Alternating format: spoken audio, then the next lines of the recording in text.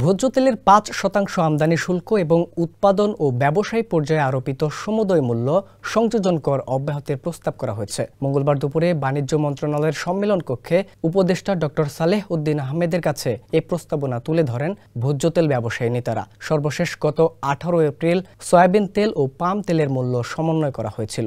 বিশ্ববাজারে গত কয়েক মাস ধরে ধারাবাহিকভাবে সয়াবিন তেল ও পাম তেলের মূল্য বৃদ্ধি পেয়েছে। এর মধ্যে অপরিশোধিত সয়াবিন তেলের মূল্য চোদ্দ দশমিক আট শতাংশ এবং আরবিডিটি পাম তেলের মূল্য আঠারো দশমিক ছয় আট শতাংশ বৃদ্ধি পায়। স্থানীয় পর্যায়ে মূল্য বৃদ্ধি না করে আমদানি পর্যায়ে বিদ্যমান শুল্ক পাঁচ শতাংশে নামিয়ে আনা ও স্থানীয় উৎপাদন ও ব্যবসায়ী পর্যায়ে সব ধরনের শুল্ক প্রত্যাহারের প্রস্তাব করা হয়েছে। স্যান্ডেলিনা সো রূপচর্চায় আভিজাত্য।